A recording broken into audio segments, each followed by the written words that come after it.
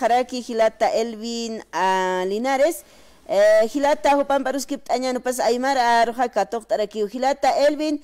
Bienvenido, hermano. Y bueno, pues usted es el nuevo secretario em, de Desarrollo Económico del municipio del Alto. Em, hermano, y también felicitarle por su nuevo cargo.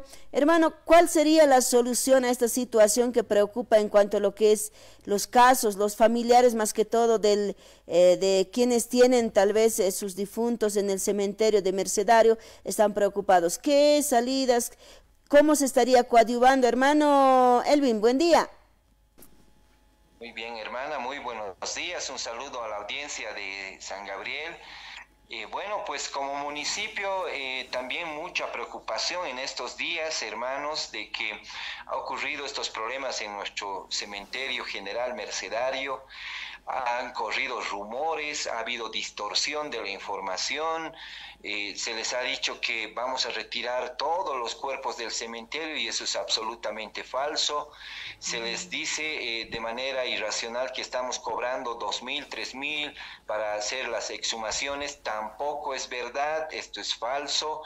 Más bien, eh, nuestra querida alcaldesa Eva Copa, en la preocupación de la población y la suya propia, porque ha, ha sido atentado de repente su familiar que tenía allá, su señor padre está buscando el mecanismo legal y hoy ya se ha generado, se está generando un documento que indica que las exhumaciones para los familiares que demuestren ser familiares no va a tener ningún costo. Esto, por eso decimos, está haciendo circular la gente malintencionada de que va a haber cobros por encima de dos mil, tres mil. Y eso es totalmente desmentible, más bien la resolución que va a emanar ya en las siguientes horas la vamos a publicar, cero costo durante un periodo de tiempo donde resguardemos a nuestros familiares.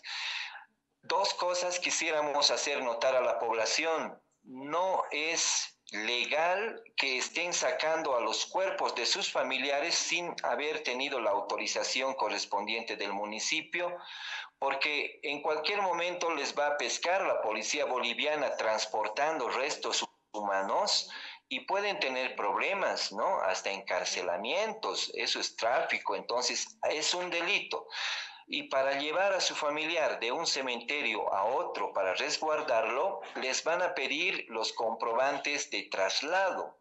Entonces, eso tenemos que cuidar muy bien, queridos conciudadanos, para que no cometamos errores, no estemos entrando en delitos. Ahora, lo otro que está ocurriendo, queridos hermanos, es que hay un grupo de vándalos, hay un grupo de vándalos que ya hemos detectado que ni siquiera son familiares de los hermanos que están enterrados en el cementerio, pero están procediendo especialmente en la noche a profanar y este grupo de vándalos ya está siendo identificado para ver quién los ha contratado, cómo ha sido, y en las siguientes horas estamos pidiendo a la policía boliviana que de manera sorpresiva los sorprenda y los agarre, porque no es posible que por temas de orden político o intereses económicos, no sabemos bien, estén tratando de asustar a nuestros hermanos de la población que tienen a sus parientes fallecidos enterrados en este cementerio. Por lo tanto, dos temas. Uno, facilitar los trámites eh, de repente sin costo por un periodo de tiempo, pero el otro mano dura también para aquellos que ya hemos detectado, incluso han apedreado a lo que es eh, la casa cultural de nuestra eh, zona Mercedario Sector 5.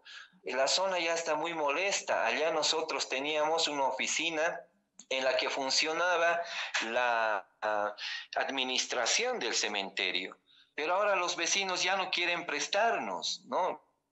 No, están enojadísimos porque ha habido una turba que ha empezado a romper los vidrios, han sacado los muebles de la guardería infantil que cobijaba este centro y los han quemado. Más bien no se han atrevido a quemar documentación del cementerio. Esta documentación está en resguardo y la policía boliviana en el sector. Entonces, en ese sentido, queremos eh, informar con claridad lo que está ocurriendo a la población.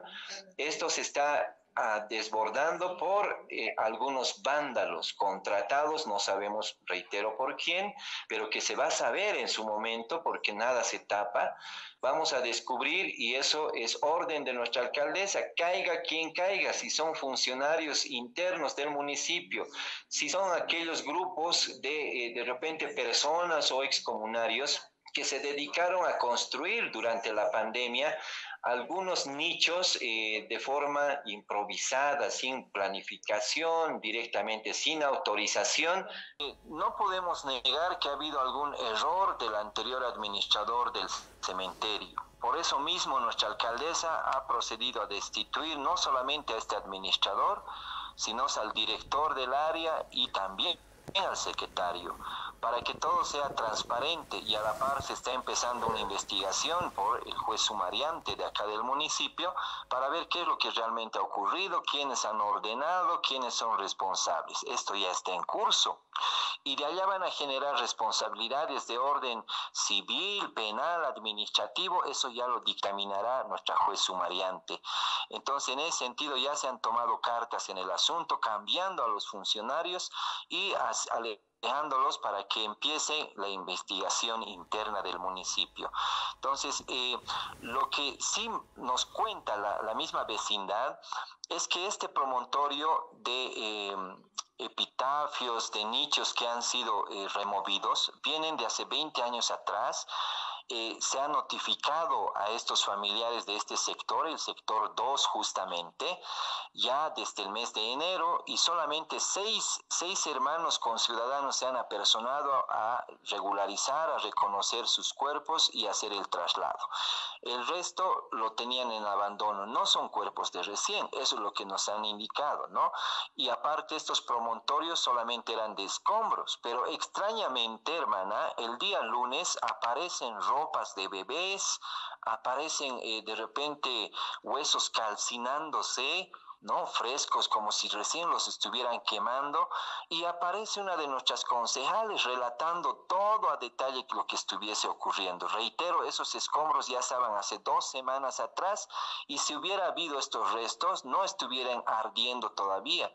Si hubieran habido esos, esas denuncias que dicen de cadáveres en el promontorio, los mismos vecinos, los mismos visitantes ya hubieran hecho notar, ya hubieran denunciado hace dos semanas. Entonces, parecería, estimada hermana, estimados eh, oyentes, de que aquí hay una mano negra, ¿no? Alguien está queriendo de repente perjudicar a la gestión o de repente asustar a nuestra población, meterle miedo, causar una psicosis ¿no? Asustar al pueblo y eso lo quieren utilizar tal vez de forma política. Entonces, eso tenemos que cuidar. Pero mucho depende, eh, estimados hermanos, de los conciudadanos. ¿Y saben por qué está ocurriendo estos factores? Porque ya se ha aprobado el proyecto del muro perimetral. Lo vamos a cerrar, sí o sí. Eso es orden de la alcaldesa Bacopa. Sí o sí vamos a modernizar este cementerio. Sí o sí va a empezar el día 20 de octubre la obra, porque ya tiene empresa, por un valor de 4 eh, millones 800 mil, cerca 5 millones, que ha destinado nuestra primera autoridad municipal para hacer un enrejado con eh, el vaciado de todo el muro perimetral, las puertas oficiales de acceso para proteger a nuestros queridos familiares que allá están enterrados. Contacto, hermano Elvin. Y bueno, pues en otras ocasiones también estaremos em, tal vez eh, también en contacto, invitándole hasta cabinas también. Gracias, hermano Elvin. Un gusto, hermana. estamos en contacto a disposición para informar cualquier momento. Que tengan buen día. Igualmente.